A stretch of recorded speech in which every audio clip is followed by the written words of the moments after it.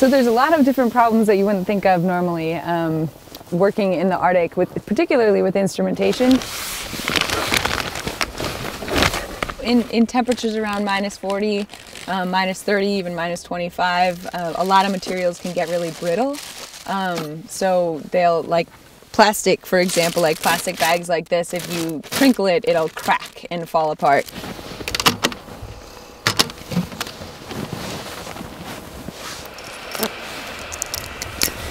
If you touch metal when it's really cold, it's like an instant burn. It feels like you touched a burner. Cables can snap. Measuring gases can be an extremely challenging. Yeah, lots of different things that you don't think about.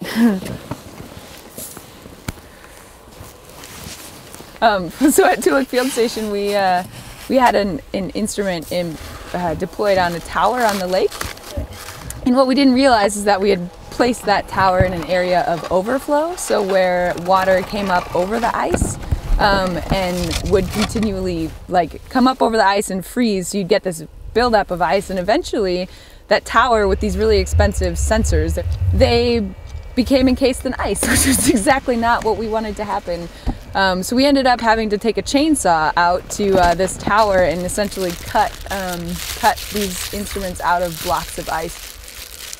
So now those are all ready to get sent back for um, calibration.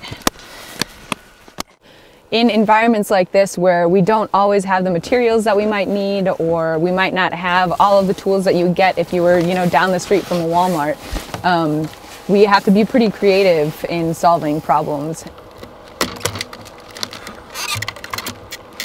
in engineering school, you learn how to be a critical thinker, um, and and that applies to every single problem that I face um, on a daily basis working in extreme environments.